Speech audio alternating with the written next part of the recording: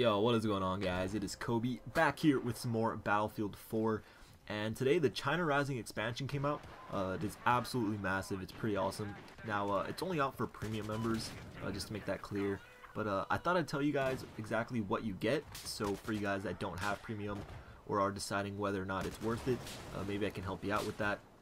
So uh, what do you get with this China Rising expansion pack? So first you get four new multiplayer maps all taking place across China, of course. And those maps are, excuse my pronunciation, but they are uh, Tak, Lamakin, Altai Range, Guilin Peaks. Uh, I probably butchered that. And Dragon Pass. So that right there is awesome. It's only like, what, a month into the game. And we already got four new maps. Um, so, you know, that really speaks volumes to how EA, you know, supports the game, puts out new content to uh, increase its lifespan but uh, that's not even close to everything we're going to get.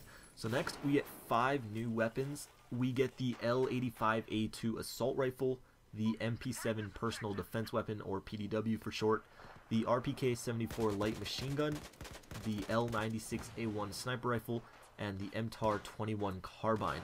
So uh, there you go, four new maps, five new weapons, but that still isn't all that we get. Uh, we also get the dirt bike that we got from Battlefield 3 Endgame expansion pack, I want to say. So uh, that's really awesome. That was a lot of fun for like capture the flag and uh, things like that. Also, we get an all-new bomber that can be deployed if you take control of the map's control center.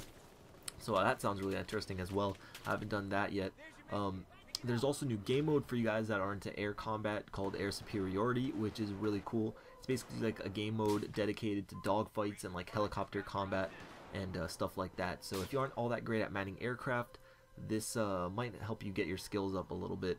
Now the last couple things we got are two new gadgets. One is the unmanned combat aerial vehicle for uh, the support class and uh, a smaller version for the recon class. And uh, lastly 10 new assignments each having their own unlock as well so that is pretty cool.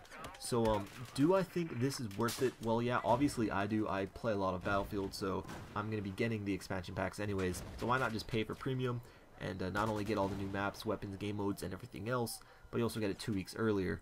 So uh, basically, if you are planning on getting these new maps, why not just get premium and you can start playing this new expansion pack right now today. But uh, if you guys have any other questions about premium or this new DLC bundle, leave your questions down below and uh, I'll try to answer all of them. I may do a video, you know, more in depth about premium and all the different in-game events and uh, everything else that you know you can get access to. But regardless, you'll definitely be seeing more China Rising expansion pack gameplay throughout the week. So I uh, hope you guys enjoyed this video. If you did, please smack that like button for me. Also subscribe if you are new uh, to stay up to date with all my new videos that are be coming out. And I'll catch you guys later. Peace.